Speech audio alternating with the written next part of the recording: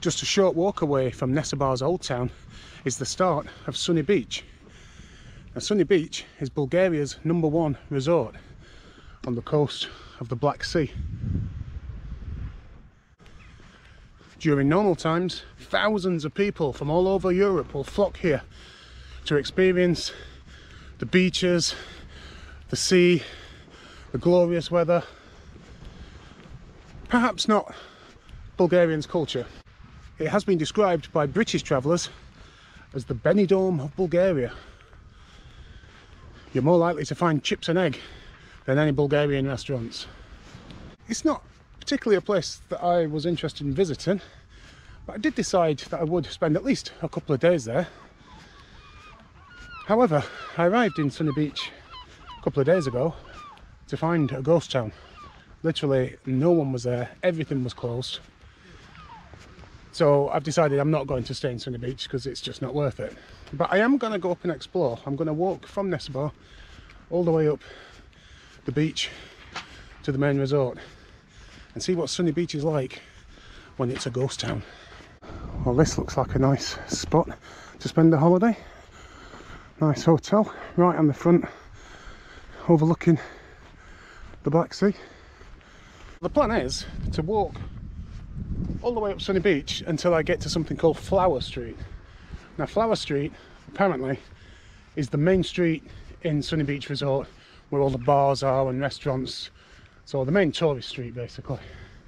There's a McDonald's, there's a Burger King. I've still not eaten anything because nothing is open in Nessebar. And so I'm hoping that there'll be something open on Flower Street.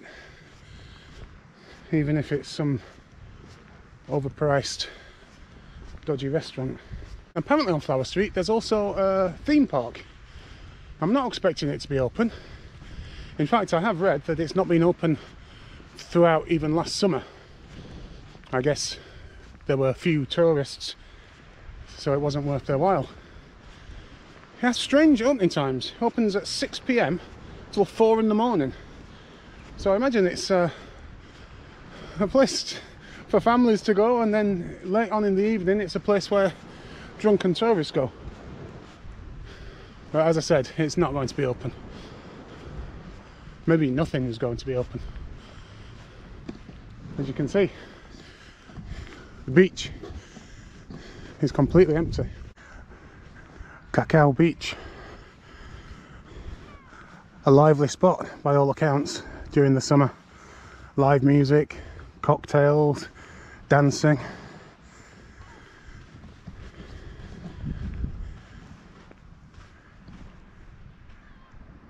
It's very strange to have this whole stretch of beach. I don't know how long it is. It's got to be a couple of kilometres at least. And there's just me on it. The thing which I find really strange is if you go on booking.com, there are plenty of places for you to book a room in Sunny Beach. If somebody books a holiday for, you know, decide that for some reason they want to come to Sunny Beach in February and they book a hotel and then they arrive and find that absolutely nothing's open. Do your research before you book anywhere during uh, off season because like me you might find yourself in a place struggling to find even basic things such as beer and wine and food. Well, this might prove difficult. How am I supposed to get across here? Oh, you're joking. Well, my walk up Sunny Beach might have come to an abrupt end.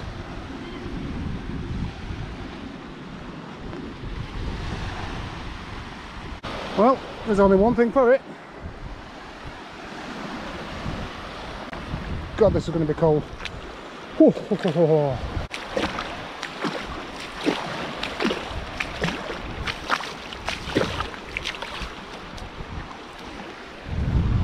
Well now I've got wet, cold, sandy feet, which is going to make my exploration of Sunny Beach a whole lot more fun.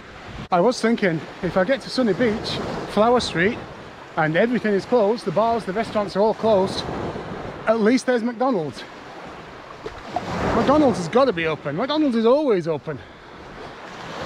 I was looking at the uh, Google Maps last night and as I'm looking at the options for food places on Flower Street I noticed that McDonald's had got an average rating of 2.8 which is crazy though. So I looked at some of the reviews and to be honest even if it's the only option I don't know if I want to eat there. Apparently it's double the price of anywhere else in Europe. It's like ridiculously expensive. The staff are incredibly rude and the food is terrible apparently. You uh, thought that McDonald's is the same everywhere. Apparently not. Apparently in Sunny Beach the McDonald's food is worse than it normally is. So who knows? It may be that I'm going to be eating cold, overpriced McDonald's for lunch. Ah, oh, what a beautiful time. The shower gel that I use every morning when I have a shower is by a company called FA. F-A. You see it quite a lot in this part of Europe. And what it does mean is that, annoyingly, every single morning I leave the hotel or hostel, wherever I'm staying, and all I've got in my head is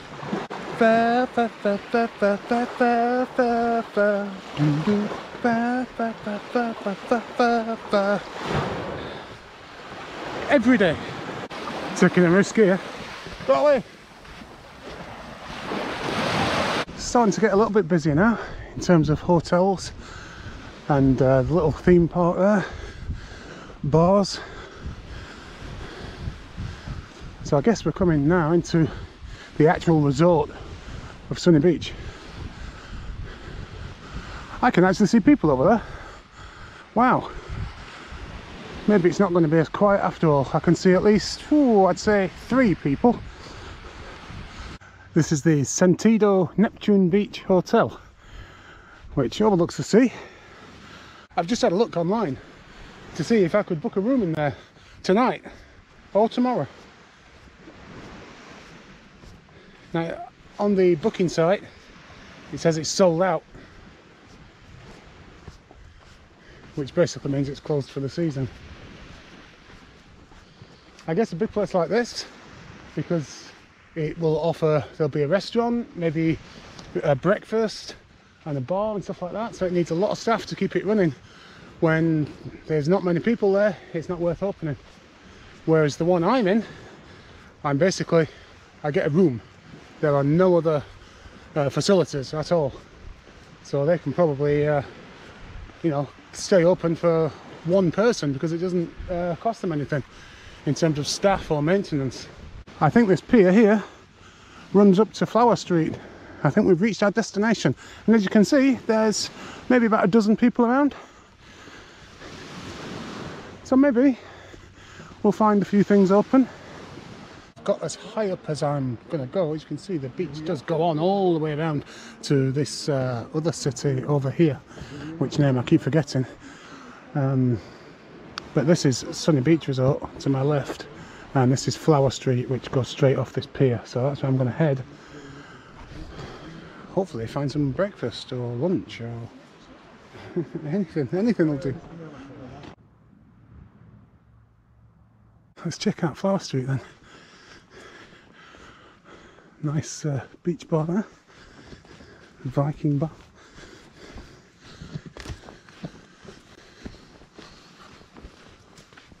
Well I'm already seeing signs that this is uh, a place where lots of British tourists like to come. We have the baked potato. Wow. It's completely dead. Everything closed well even when it's closed you can see what kind of place this is. Over here we have funny hats for sale. Or everything on a t-shirt. Get you on t-shirts printed. We have henna tattoo over here. Fast food place that's selling baked potatoes for the British. What the hell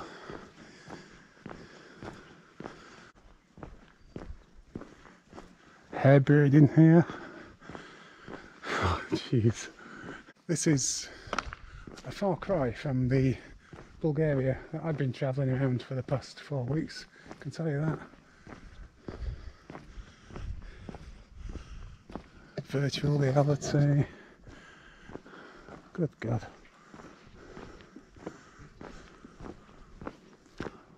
Buy three, get one free in English. It's quite funny because nothing is in Cyrillic here. Everything's in English. A funny pub. What we got there? Ribs, fish, pasta. Can't really see any Bulgarian food. My god, even Burger King's closed. I'll be honest with you, walking up Flower Street, this place looks like absolute hell on earth. I can imagine when this place is busy that it's basically it's Benidorm. It's just this is not Bulgaria. this is a place for British people to come and drink cheap watered down lager and bake in the sun. And if you want confirmation of that, this is just the most ridiculous thing I've seen. Are you ready for this? We have the Brexit restaurant.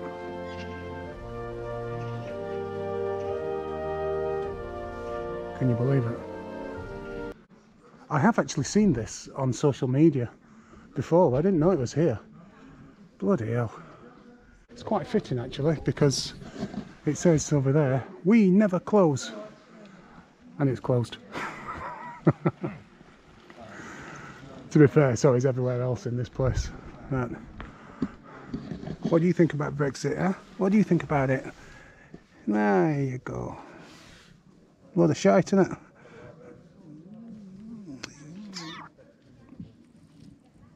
You like that, don't you? Hey! how playful you are. Oh, but you've had no attention in months, have you? Yeah? No attention in months.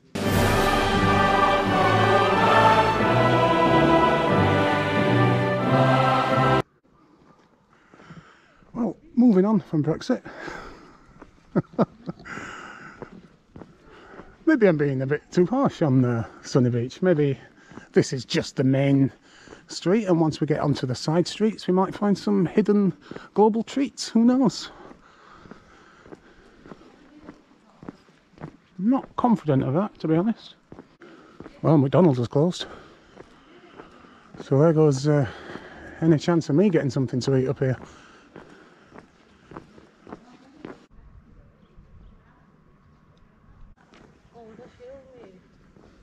Well, I'm struggling to find anywhere for food. There's just nothing open at all. But looks like Janet is going to come to the rescue once again. Janet to the rescue again. I think that's chicken and some uh, potatoes. That'll do me for lunch. Don't think I'm going to bother exploring any more of Sunny Beach. I think I've seen enough to give me an idea as to what it's about. I don't think I'm likely to come across some brutal building or any Soviet monument or any World War II historical sites or any kind of culture at all. It's just going to be fast food and bars appealing to tourists. Oh, we've got a bit of culture here, look.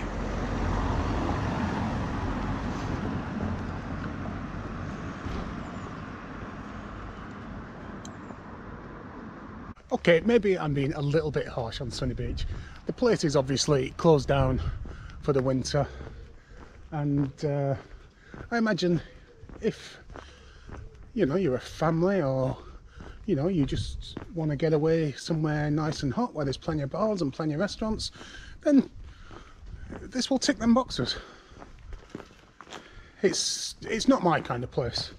But that's not to say that people can't have a good time here i'm sure you can have a bloody great time here in in sunny beach just, oh dear literally got like the whole of sunny beach to myself it's crazy Now, according to Google Maps, this place opens at 3. It's now about quarter past 3, and as you can see, there's no way this is opening. Definitely closed for the season. I, I think it was closed last year as well, for the whole of the year. Oh, we actually have some Cyrillic. Oh, it's uh, jacket potato again. Jacket potato with one garnish, five lev. Two garnishes, six lev. All garnishes, eight lev. Not bad actually. Jacket potato, cheese and beans. What the hell? I would have gone for that. Some of the places where you can go from Sunny Beach excursions Sozopol. Now that is a place that I do actually intend to visit. Blue Mountain I've not heard of. Varna I've just come from. My hostel was bang opposite there. Bulgarian village. I bet that's not an authentic Bulgarian village. That'll be created for tourists. Khan's Tent I've not heard of. Istanbul is... Uh, well, I should be there within the next week. And the Rila Monastery. That's going to be quite a trek to get there from here. To be honest. I went there from Sofia and it was a two hours uh, journey from there. So I bet it's about 10 hours from here, about 8 hours or something.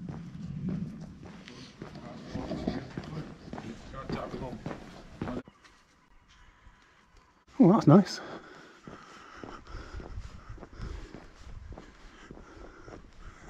Now if all of Sunny Beach looked like this, I'd actually quite enjoy it. Bloody hell, that's the smallest McDonald's I've ever seen. Not content with having a monopoly on all the big supermarkets in the area, it appears that Janet is branching out and now does manicures, pedicures, massages, hairdressers, cosmetics and hot wax. Who is this Janet? And why does she own half of Sunny Beach? Well, this looks interesting. Breakfast menu. English breakfast. Egg, bacon and beans on toast. Egg and beans on toast.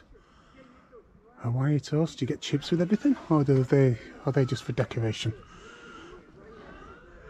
Heinz beans on toast. I mean, we are right in the heart of Bulgarian culture here. Eggs and bacon. Chip butter. Oh man, do you know what? I'm starting to love Sunny Beach. I take it all back. I think uh, Sunny Beach would actually be a fun place to visit during the season. There's tons and tons of bars, loads of restaurants. And if you want an English breakfast or a chip butter, it's even got that. Baked potatoes in every kebab shop. Don't come here expecting culture or history. But don't come here being a travel snob either. If you can't have a good time in Sunny Beach or Benidorm or places like that, then maybe you're the problem. Have you thought about that? Quality content as usual from the Global Treats channel. I don't know when Sunny Beach was built as a resort. I mean, a lot of the hotels are very modern. There are a few that look uh, a bit older, but I don't think it's really got any history. It's just a, a resort that's been built up for tourism. But having said that, this, what I'm looking at now, is one of the greatest examples of brutalism I've seen. This is incredible. And what I love about this is if you've booked a room in this nice, fancy, posh hotel and you've got one of these rooms here and you look out your balcony you don't see the beach. You see this? Oh look at that.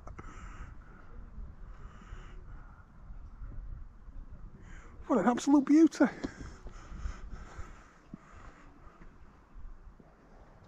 I mean what the hell is this doing here